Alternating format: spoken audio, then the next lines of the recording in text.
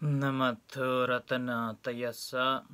May I pay homage to Triple Gem, the Buddha, Dhamma, and the Sangha. My respect goes to my parents and my teachers. Hello, good evening, everyone. Today is uh, um, Wednesday, and the 21st of April 2021. This is Ajahn Sujan from Varapunya Meditation Center, Aberdeen, Scotland. Hi, Margaret. Good evening, and hi, everyone.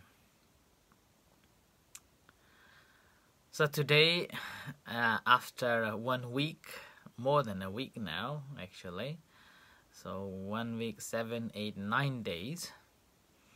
I'm here with you all tonight. It feels quite uh, awkward and feels very different after being away for nine days and coming back and talking to you all online. Good evening, David. So the whole one week we've been going through different uh, activities and uh, also different works. And as I have said that it was New Year, an Asian New Year, and it's really well uh, practiced. And um, meanwhile, because of the Corona uh, virus spreading so fast in uh, uh, Asian countries. Uh, this due to the the celebrations, quite worrying too. And I hope that uh, this uh, this week the Scottish government has released uh, some of the restrictions, and hope that it will not go back uh, like they are facing at the moment in Thailand or India or Nepal. So I would uh, encourage you all to be mindful. Uh, although I've been uh, trying my best to use masks and trying not encouraging people to come to the center many, uh, too many, is trying to really you know uh, have at least of just uh, uh, six people in a shrine room and uh, four people in a living room and which okay sometimes quite difficult um, and also just want to uh, announce here as well that um, since the lockdown eased anybody would like to uh, join for the evening chantings and a guided meditation, particularly on a Tuesday nights, you are welcome to uh, join. And if you would like to join, uh, just let me know. let the center know that you are coming, so that we can control the numbers, and not more than six people at any one time and this is again just uh, helping our members those who are willing to join the uh, communal chanting and guided meditation and as we all know that um, communal practice is so important in the practice uh, for the development and uh, cultivation of mindfulness. Um, otherwise it can lead us to such a, a difficult uh, understanding and uh, a difficult position too. As we are human beings so we do need uh, a communal activities which keeps us feeling that we are also playing a part in the community. So that's why it's uh, uh, quite important that whenever you have an opportunity you can join physically and again this is i'm saying physically is so important uh, to join And the practice, again, as I normally say, uh, that it's important that the more you do, the better you will become. Um, and the continuation of your practice basically leads to the development and also gaining the knowledge and, and vision on that. And obviously, in the practice, there will be so many obstacles and so many distractions that always takes our attention away from uh, the desired practice of a meditation and which is very common and uh, if we haven't seen the benefit of a meditation and if we haven't control over our desires and we are not mindful enough to deal with these mental states then it's very easy to say, "Oh, I am tired. Uh, I just came back from work. I haven't uh, cleaned my uh, clean uh, or washed or have a shower yet. I need something to eat." Or I want to watch a television, or I want to watch this movie first. So much, yeah, so much excuses will simply creeps in and with that, it's very easy to saying that, okay, I will do it tomorrow. And as we have a famous saying, that tomorrow never comes. it's always tomorrow, eh? never comes. And gradually, what happens is that uh, this uh, intention to practice will just go further, far away, uh, day after another. I remember um, when I attended the 10 days of silent meditation for the first time before I became a novice monk in Nepal. The experience was fantastic and experience was so great and it was like uh, um, awakening it was like enlightening in yourself uh, while you are in you were in the on the retreat and the experiences that you uh, experience is tremendously beyond the words to explain. And as a result of that, uh, the day when you leave the center, the retreat center, you have a thought of, okay, I'm going to make a resolution that I will be practicing meditation early morning one hour and evening one hour. If not, at least one hour a day and I will not miss even one day. So that will be the thought. That was my thought when I left the retreat center. And I was still in that mood, in that zone of such a calmness and tranquility mindset. And I realized that uh, I was able to continue practicing probably a week or two gradually this laziness creeps in, this responsibilities crept in, and then the the homeworks, the works, helping parents. And gradually there was a thought uh, that oh, I will do it just once a day. And then after once a day, I've been doing for some time. Oh, it's too long. One hour is too long. I will do half an hour practice, and then goes on this rather than increasing a number or increasing the uh, amount of practices, I was basically decreasing it. And this decreasing of uh, practice basically uh, uh, eventually helped or eventually caused me to stop meditating. And having stopped meditating doesn't mean that uh, back of my mind was always thinking, oh, I haven't done meditation today. Oh, I haven't done meditation today. It's okay, I will do it tomorrow. So goes on like that. The thought after thought, days after days. By the time when I realize it's already gone one year. So these things would happen, and which is very common, which is very easy. And which is again similar way even the buddha when he was practicing uh, for the attainment of the buddhahood he had similar thoughts the so-called the mara the obstructions.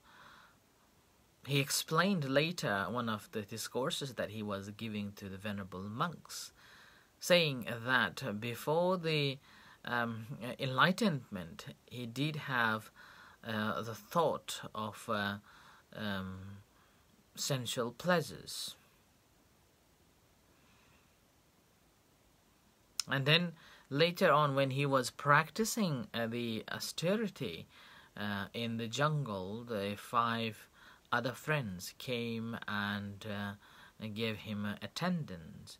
Some were preparing some fruits and water, uh, and some were just practicing along with uh, him, uh, alongside with him, and so on. And it happened that uh, he, uh, no, he he became very weak, and he was almost died. According to the Buddha's his own word, he says that he could touch the um, uh, the backbone from the belly. That much thin he became, and he was able to touch that. And he was almost dying at that time.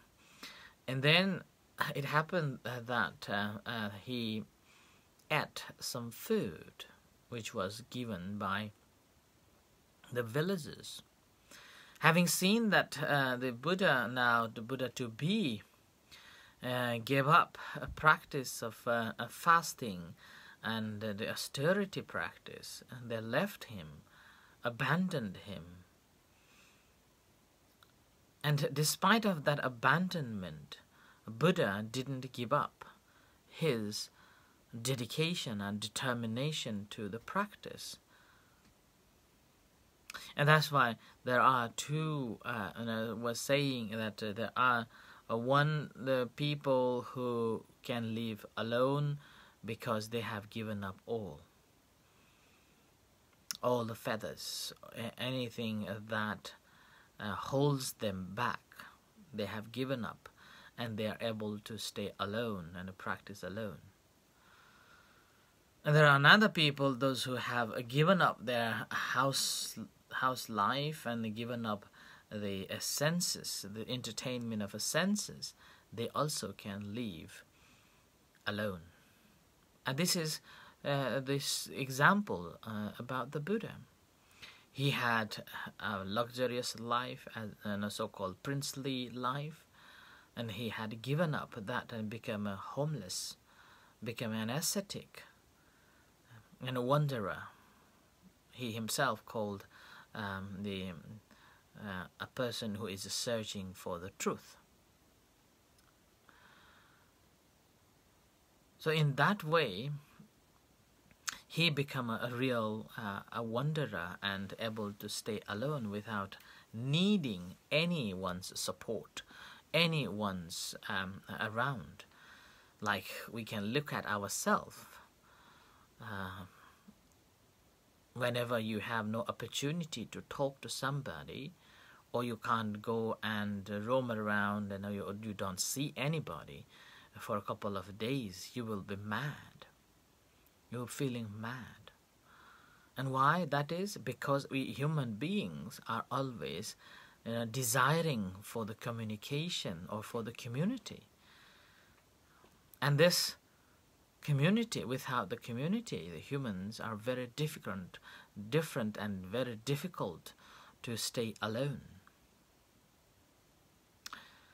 and that's simpler because the moment when you stay alone this mind plays so many tricks they say uh, that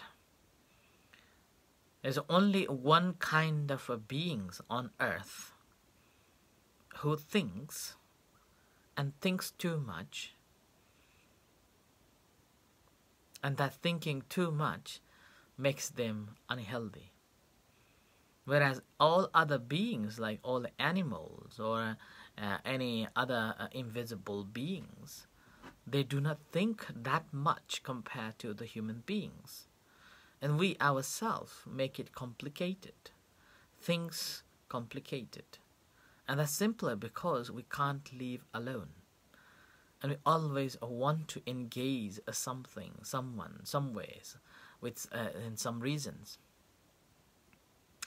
And as a result of that, it's always difficult for us to stay alone. People, so many people were just uh, telling me stories that how difficult that quarantine is. Uh, the two weeks quarantine. And that quarantine is not that hard, you know, that, uh, that is more harder than you are self quarantine, uh, quarantined in your own house. And it's all because we haven't trained ourselves and we haven't learned ourselves uh, to live alone and being alone. Hello, Somali. Good evening. Yeah. So, with that, uh, we always need a company. That's why there are so many news going on that I can't see my grandchild, I can't see my friends, I can't go around. So that's why I'm having mental issues. So that's pretty understandable. That's simply because we think too much. When we have the privilege, we do not see uh, appreciation of it. And now when it's not there, and now we mourn for it. Okay?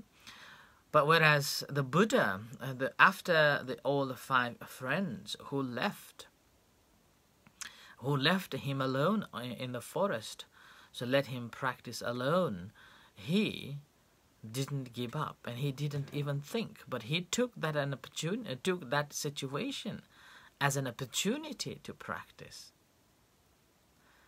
So he dedicated himself fully and no need to worry. So he continued his practice. So he didn't give up his dedication, he didn't give up his determination to attain the liberation. And eventually, he was able to attain the liberation. And even when we look at his past or previous lives, so many previous lives, countless previous lives, although we can hear and uh, we can read only a couple of around a thousand stories about his previous lives, but there are countless in that also suggests uh, that ever since he took a vow um, or made a resolution that in the future he would like to be the Buddha, ever since he continued his plan or his resolution, doesn't matter which realms or which form he was reborn in different realms, he continued his resolution until he attained the liberation. So I am telling this story simply to encourage all of us in a way that practice is not something that we do uh, and then uh, will just go away. We need to continue practicing, and this reinforces if we have a community that we work together, practice together. And that's that's the reason why you know you may notice that i have been trying to have this uh, talks every day and trying to have almost every day apart from some breaks and a chanting and um, guided meditation. Simply to facilitate every one of us that you know we are all although physically we're not able to come together and practice together this online at least will help us all to practice together. And just being a friend with you all. Some people take uh, this opportunity to practice and they grow their knowledge, their understanding, and their practice and their experiences. And others, at least, they have in their back of mind that oh there is Ajahn giving a talks there is a guided meditation and whenever I am I have time I will join and I will listen. At least there is something that looking forward. It's like an online community that we have developed. And this is basically to facilitate all of us to come together and continue practicing developing our senses developing our mindfulness and developing our understanding so eventually we will be able to cultivate it more and more and we will become mature in the practice. And here it won't be only in the practice, but also gradually, the, all the information and the knowledge and uh, the Dhamma, you will absorb them as well. And I remember uh, two or three days ago, uh, uh, Margaret was saying uh, that he she was enjoying painting, painting the fence in the garden. Uh, and every action that he she was doing, she was enjoying, and she was saying that she's you know thanking for these teachings and the talks. And similar way, there was a, a lady who came to speak with me, saying that uh, before she was very angry person, and uh, after hearing some of the talks, he be- uh, she becomes uh, much calmer and ability to notice. So that's why, although you are not following every night or following every day, uh, occasionally even joining this community helps you to enlightening something.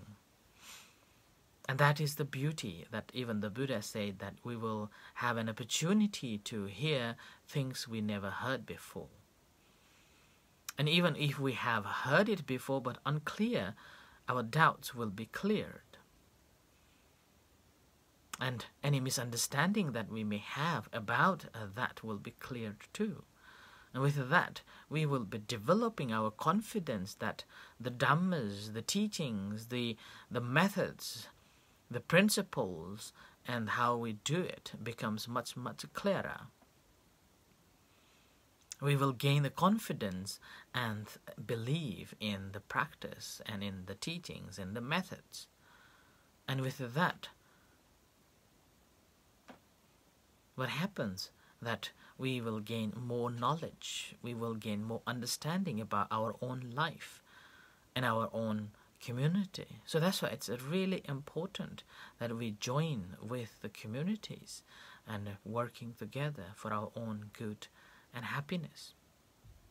So that's why on this account, uh, our center is now open to you all, whoever would like to come for the uh, evening chanting or even the weekends uh, just come. And also, every week, uh, every month, we're going to have so-called Sila program, which means um, uh, observing eight precepts and uh, listening to talks from different monks, uh, and also attending some small ceremonies on Zoom, which you can join as well. But if you are physically willing to join at the center, I would encourage you to tell me or uh, inform uh, one of our monks or even to uh, one of our uh, staffs members so that we can uh, uh, make place available and so you can come and join these um, events and meditation sessions. So the buddha was simply in these ways he was able to uh, be alone, and despite his friends left him, uh, he was able to continue his practice, and eventually he attained the Buddhahood. So it's a the practice of a mindfulness meditation is although we are learning with the community, but eventually it is teaching us how to live alone and being island for oneself and taking a refuge on ourselves, and eventually we will be freeing ourselves um, gaining happiness that we have created by our own actions, our own efforts. And that will help us to grow and be happy in our life. So, with this, may you all be well and happy. I end here for tonight, and in a few moments' time, we're going to have evening chanting and guided meditation.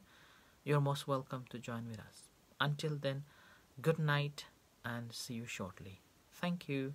Thank you, everyone. Sadhu.